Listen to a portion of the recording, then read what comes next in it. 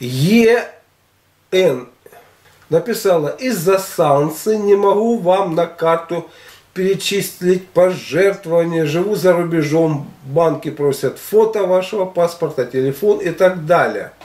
Что я хочу сказать? Есть в этой самой прямых трансляциях, когда я делаю прямые эфиры, да и так я там, как бы сказать, донаты на поддержку канала.